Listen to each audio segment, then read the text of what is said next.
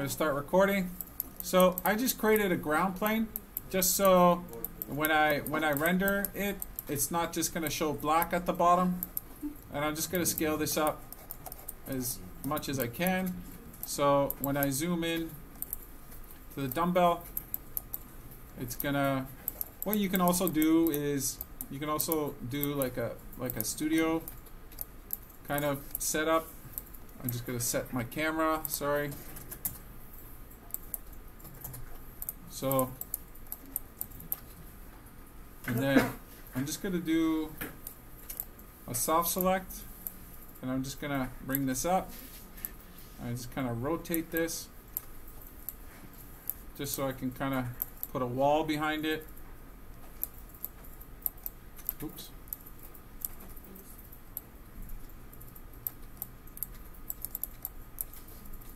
There you go. Let's set the dumbbell. So now we're just gonna keep it like this.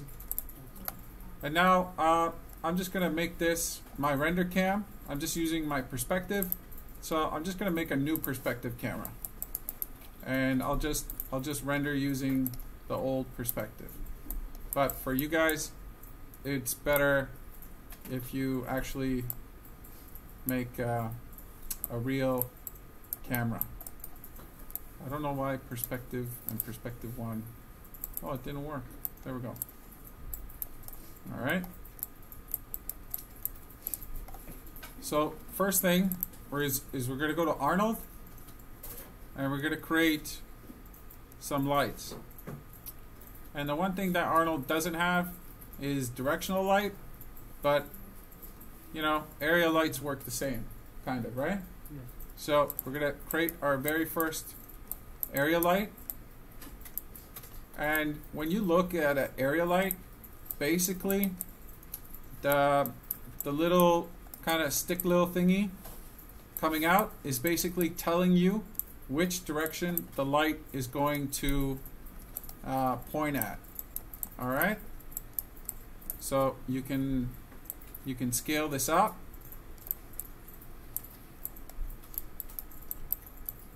And then kind of just point it in the direction.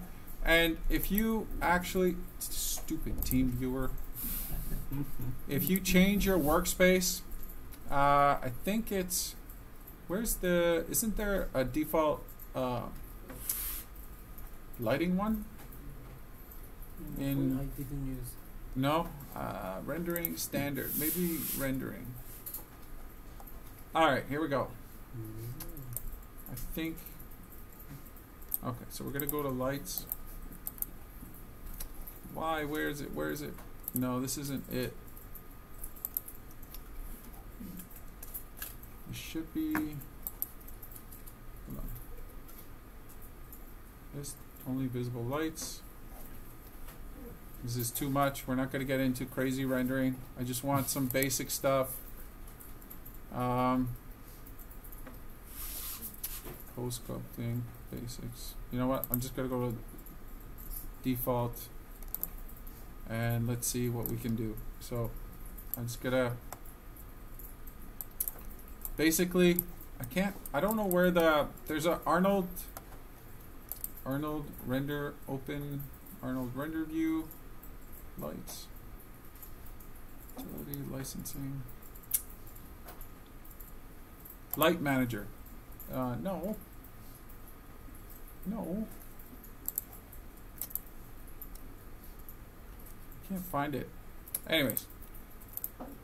Arnold has a cool feature that um, so basically when you're when you're setting up the light you're kind of looking in the perspective view and you're like oh okay this is what my light is looking at. But what you can actually do is I'm just going to change my camera view here. If you go to panels when your light is selected and you go to there should be there's this option called look through selected and basically you can do this with anything. If you have your light selected and you click on it, now I'm moving the light.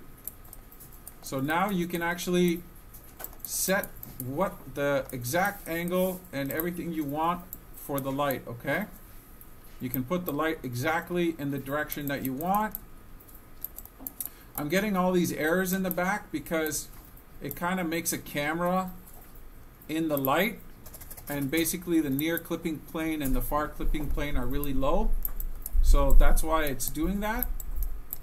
But this is a, a neat feature and in the Arnold render view there's all you have to do is have the light selected and click on a button and it makes a new window with this view. So you don't have to screw around with your regular camera so I'm going to change this back to perspective and we're just going to leave the light here. We're going to go to Arnold and we're going to open the render view and we're just going to hit this play button.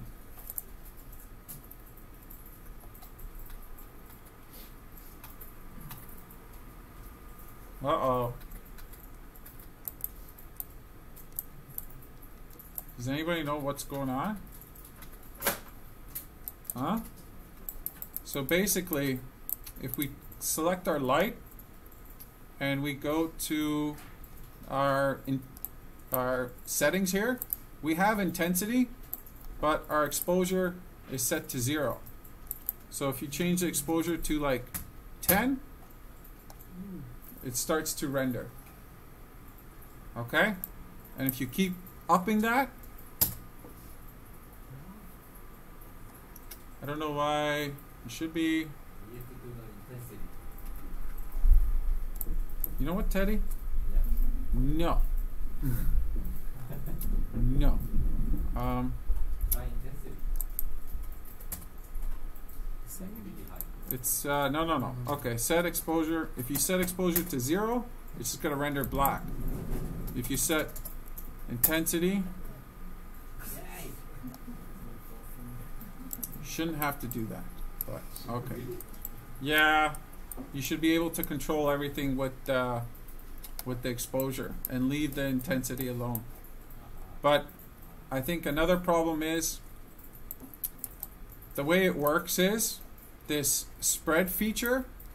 It doesn't really follow this. It kind of it kind of spreads it uh, at a bigger radius. So watch if you turn down the spread. Watch what happens to the light. It gets it gets brighter. Do you know why it's getting brighter? Because pretend the spread zero is the sorry my voice. Pretend the spread is the center of the area light and one is the outer box. Okay? So when you set it to one, the lighting gets softer because it's spreading over the whole surface of the area light. When you when you change the spread to closer to zero, it's kind of bringing it down to a pinpoint. All right?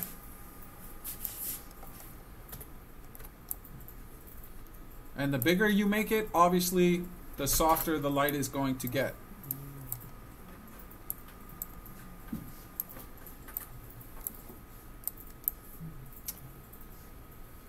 Um, where is this?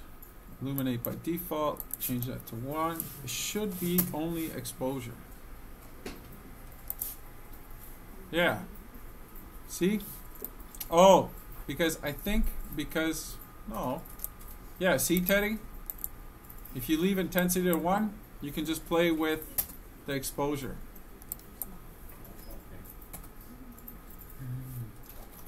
You're right. You could do it either way. Teddy's right, and so am I. Thank you. All right? So nice. Hey, I admit when I'm wrong. I admit when you guys are right. Um, lighting shape, when it says quad, no, this is not, no, it's quadratic. That's, hold on. What else, what else, what else? You really don't need to play anymore. You can kind of, you can kind of just create a basic studio light. If I rotate from the top view, is you're going to have your key light, you're going to have your rim light, and you're going to have a fill light. So a basic three studio uh, studio lighting is just three passes. So if I just Google that for a second, I'll show you what it looks like.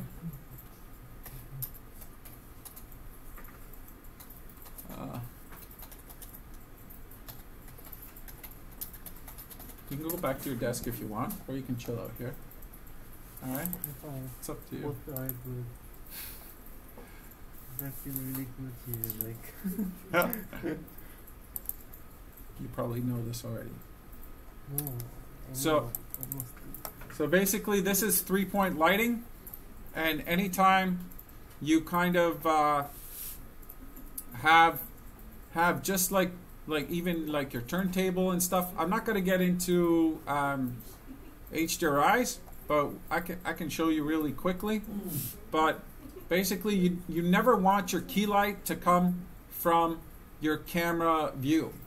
So if your camera, if you're looking here, you don't want your key light to be right in front of the camera or right behind the camera. It should always be off a little bit. The fill light is always opposite the key light. And then you have a backlight, which is just a rim light. So basically you get that nice halo around your, your object. Okay? And the way I was taught lighting, it's always, you, you have a, a certain value for the intensity of your key light and then your fill light and your backlight is only a certain percentage of that. So for fill, I only use I use about half, and rim light, I kind of play around either half or a little bit less. So if we just take this, our camera is straight on, so we'll just change this. Oh, this these computers are a little slow, eh? I, I hope you guys can render your final projects. So I'm just going to stop it for a second so it doesn't keep updating. So I'm just going to change it. I'm just going to control control D to duplicate the light. It's going to move it over. Use this as my fill. I'm going to change the exposure to 5. I'm just going to go down by double or and then I'm just going to put this behind the dumbbell. Usually I also like adding uh, like uh, another light from the bottom to, to kind of mimic a bounce light, like bounce lighting. But with HDRIs and everybody using HDRIs now, you basically get get all that for free. Mm, All right. So I'm just gonna put a light back there. I'm gonna change. I'm just gonna leave that at five, and also just keep an eye and just name your lights. Okay. Just go key, fill, and then rim. Okay. And that way you know which light which light is doing what. So if we turn this on, is it did it render? It render? No. Okay. Let's just change the rim a little higher so we can see. Uh, maybe too much.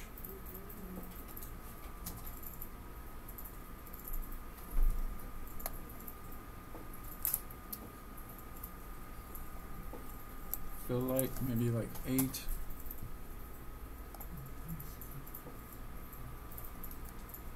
And basically, I don't have shadows turned on, like cast shadows. Basically, um, you should only have one light will cast shadows. No other lights will cast shadows. Okay? So you select your fill light and you turn off cast shadows. Select your rim light, turn off cast shadows. So only your key light is going to cast the shadows. Okay? I think if we select our little geometry here, we can go to the Arnold tab, and then here you can select what the object is going to do. Is it going to cast shadows? Is it going to receive shadows? Um, everything is usually on by default.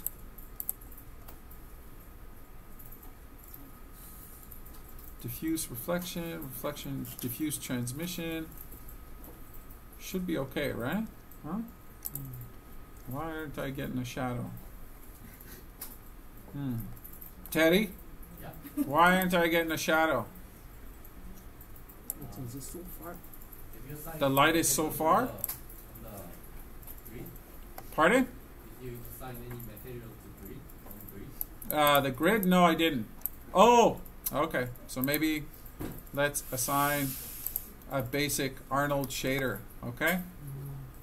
So let's go to our hypershade. We're just gonna go to Arnold. And where is the default?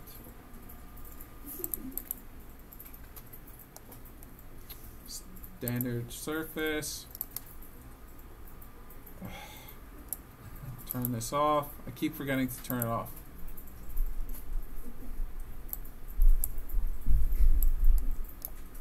All right. It's too white. It's too white. It's too white, Teddy. Okay, I'm gonna I'm gonna take your word for it. Okay. And that's kind of racist. Oh. All right. Oh my god. All right. It's it's beautiful the way it is, Teddy. Don't be don't be like that, okay? Yeah, how dare you, Teddy? How dare you? Okay, so we're still not getting shadows, but we're getting reflections and all that. So basically, we have to play with the shader for our ground. So we're not going to cast shadows. We're not going to accept reflections. We're not going to accept specular.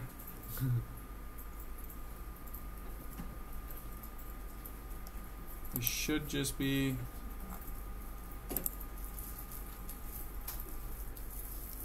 Uh, visible and reflections, visible and reflections. Oh, this is if it's visible. Sorry.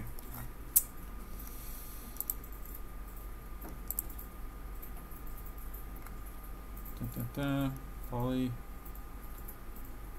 Cast. We're not casting. Hmm. Let's just go to the shader then. Oh my god. Turn it off. Always never leave the play button on. If you select your shader and you want to see all the nodes, you can either right click and go to graph network and then you'll see everything nicely. Same thing with our shader we did for the dumbbell. It's just right click, graph. So let's go to our standard shader. Specular, I'm just going to turn it off. Um, How about the roughness? the roughness, Yes. this one, The roughness. roughness. Oh, turn that down. This is uh, field of, can't remember what IOR is. Let's see. Okay. We're still not getting shadows. We didn't shadow. Let's go back. It should be base. Uh, nope. Where is it? Um, I have to try. let's see. Da, should be. It should automatically have it. We already have uh, cast shadows on. The geometry is is visible. So I don't understand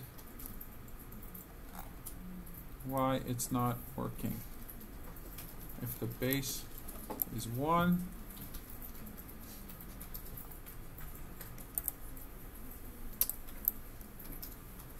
Transmission. This is just transparency. Let's just close this for a second. Close this.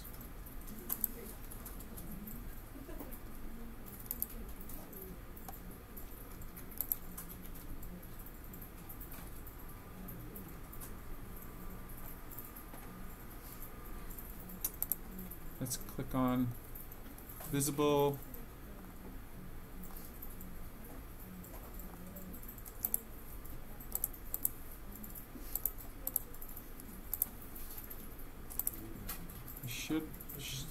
sold out.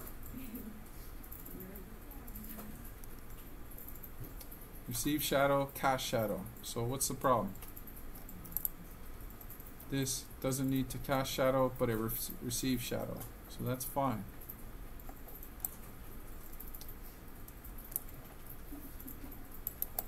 Let's check our area light.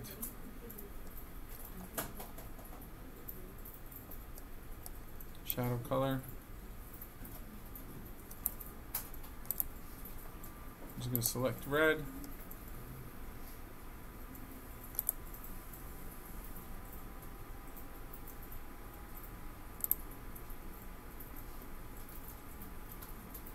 Shadow density. No, it's fine. Illuminate by default. Our light is casting. Resolution.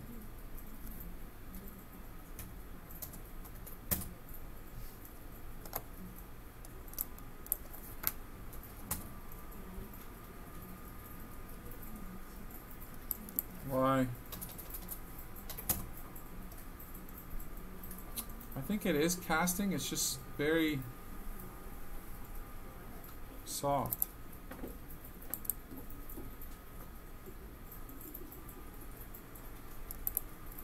Oh. Sorry guys. We only did the texturing for we only did the texturing for the handle and the handle is pretty far but it should still be casting something. Let me just uh, apply another shader. Uh,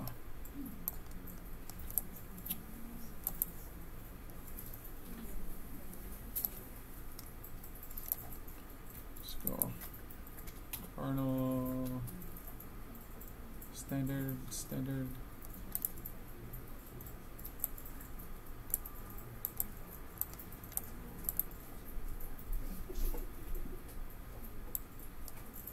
Assign material.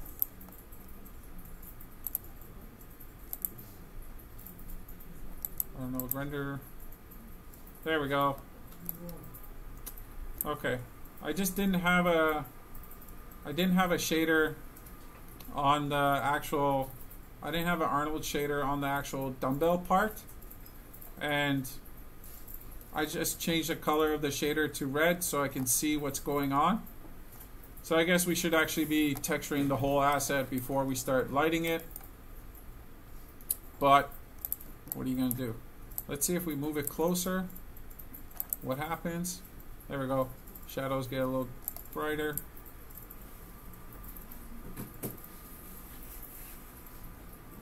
So basically, our problem was we didn't have an Arnold shader on the dumbbell section. Um, if you want to create an HDRI, Arnold does it really well. All you have, all you have to do is create this sky dome light, and if you click on that,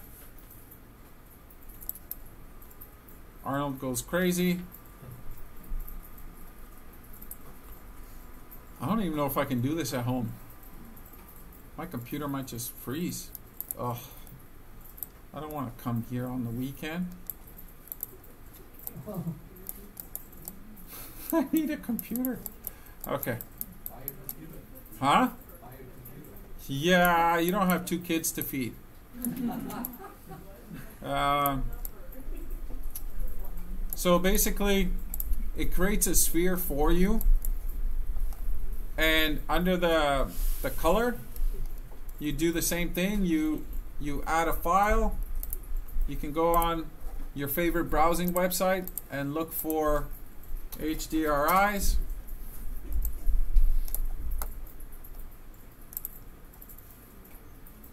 Um, let's go back and type in free HDRIs. Okay. Oh, I hope I don't have to sign in. I hate it when they make you sign in. Oh, that's just the HDRIs. What do you guys want? Indoor, outdoor, studio? Studio, right? Let's do Let's do small studio. I'm gonna download 1K.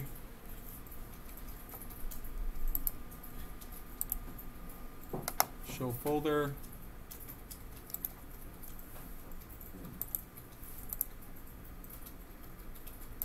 Just gonna put in my file. Save. Uh, file, Dropbox. There's your HDRI.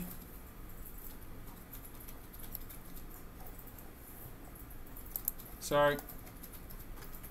So go to color, file, folder, and just go to wherever you saved it.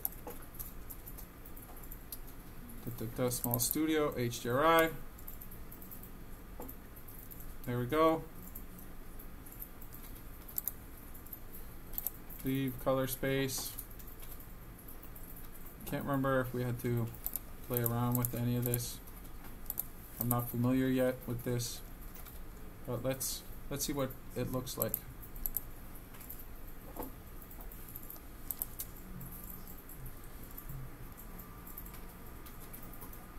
Come on. What? Where's the renderer?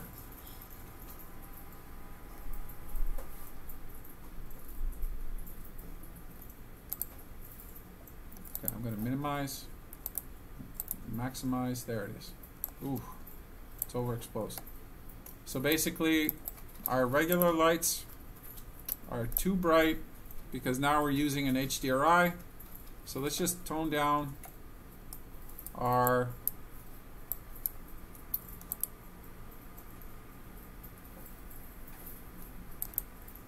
our lights. I'm just going to turn this off.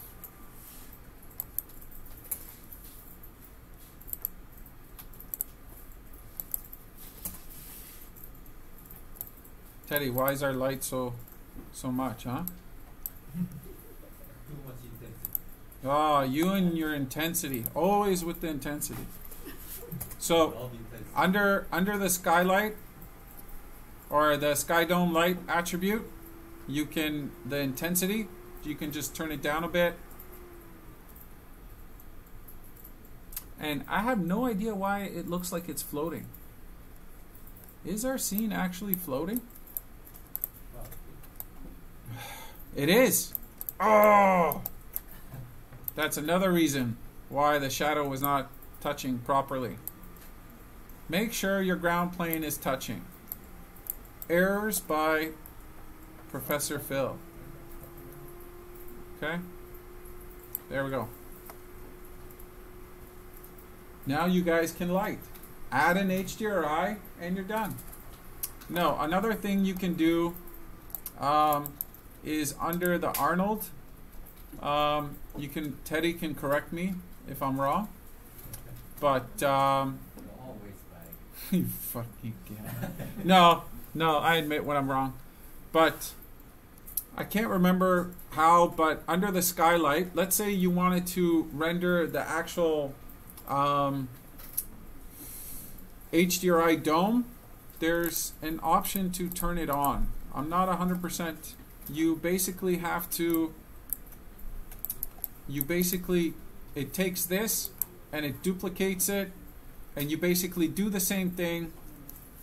I think uh, I'll have to look that up, but let's just stick with the studio lighting for now. And basically, this this dome with your key lights and everything. When you're rendering with an HDRI, all these little area lights we made with the key and the fill and everything are is kind of useless. Because basically when you look at the HDRI dome, you have your key light. Your key light is right here. And your fill light is over here. All right? And where is it? Where is it? And you're you're basically getting your bounce for free down here. Okay? And if you want to change the lighting using an HDRI, what do you do, Teddy? Huh? You rotate. You sit and rotate, Teddy. I'm just joking. You can rotate your HDRI, and put your key light wherever you want. Okay?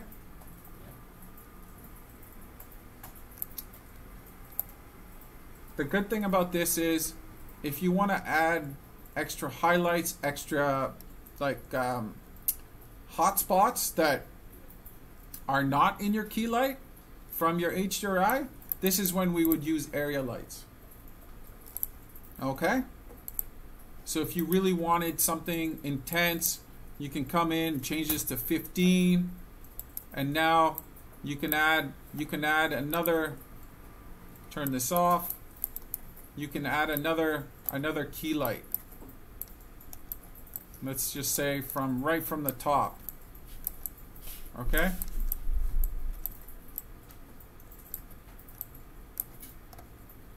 And just render that. Okay? Just put it to 20. Let's see. There you go. Just to show you.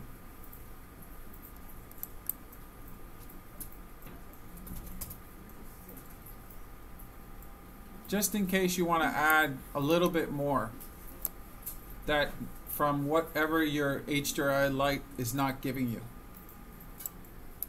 Alright? And we got all our bump. We got everything. It actually turned out not too bad. Um, I'm to save this. Your resolution, you can change this to 10. What's, what's, what is, uh, I'm not going to get into the, to the, with the Arnold uh, render settings, the quality render settings. Just leave it at default for now. If you guys want, uh, I can I can look into it and give you some basic uh, lighting videos for like glass and stuff like that for the future. Because the one thing I'm just gonna I'm just gonna uh, certain elements in in the real world like glass have certain ref, uh, refraction values have certain reflection values like steel is reflective to a certain degree. Aluminum reflects a little differently. And basically, in the real world, there you can look up. Uh, Google is your best friend. You can look up uh, glass uh, refraction index, and it will tell you the glass ref refraction index is 1.517. Okay. So basically, if you, I'll, I'll, I'll do a video on this, but basically if you pump this into the ref refraction, it will give you uh, the reflections based on the glass and the HDR you did, and it'll mimic glass pretty closely. Okay, but remember, these values here are based on real, real world uh, scale. Okay, so for your final projects that you're to do in third semester and fourth semester, make sure you do shit real uh, in, in proper scale. Okay? So if you're if you're modeling Thor's hammer, get get you know a, a, a proper scale for it. You know, just download a humanoid model and use the measuring tools I gave you and scale it up to about six foot and kind of put the hammer in the guy's hand and see if it looks right. If it looks too tiny, you know you got to scale it up. And then when you're rendering it, it's going to look more realistic. Okay? Just make sure you guys always do things to proper scale. Can't stress that enough. Um, I'm just gonna stop this here.